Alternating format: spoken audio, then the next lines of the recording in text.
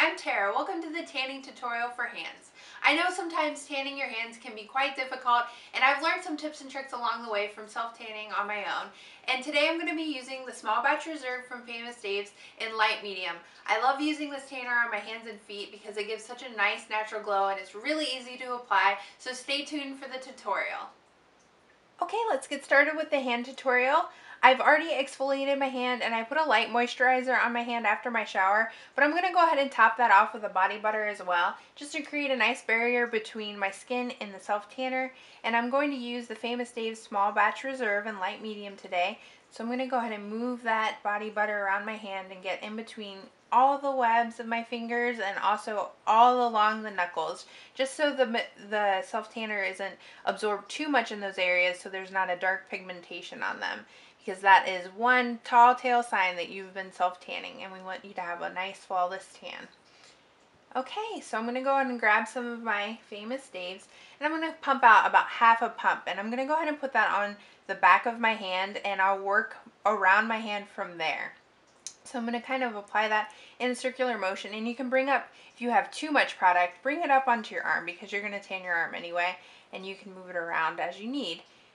And then I'm going to go ahead and start on the outside and kind of draw my line or make my line where I would want my tan to end naturally and go up on my wrist and just go lightly with, you know, excess product. And when you're doing your fingers, once you apply it, go ahead and bend your finger and rub it on the knuckles a little bit so that when you bend your knuckles, you don't have white lines from your knuckle wrinkles. And go ahead and do each finger and then, you know, bend them and reapply. And don't forget your thumb. And then you can draw the line there too where you want your tan to naturally end. And then you want to go into the, the big web there. Make sure you have tanner there. And as far as your other finger webs, you can go ahead and slide your other hand through there so you're applying that tanner from the back of your hand onto there with the excess product.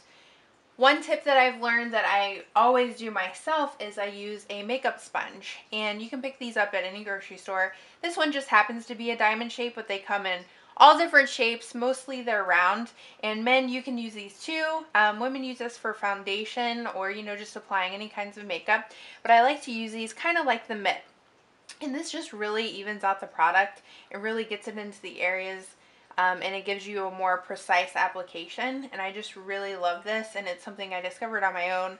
And this is how I always tan my hands. And then it is helpful to, you know, do the side of your hands.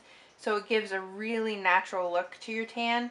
And it just helps evenly disperse the lotion as well.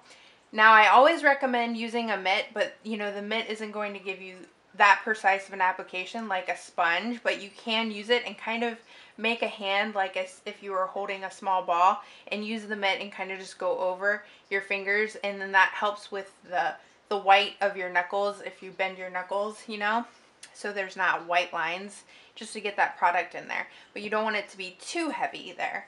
So then you can just work that around with the makeup sponge or your hand and just make sure you're working it in and you can feel the lotion start to dry. And that is it. I hope you found this tutorial for hands helpful and you're able to achieve the flawless glow you're looking for when using Famous Dave's Self Tanner.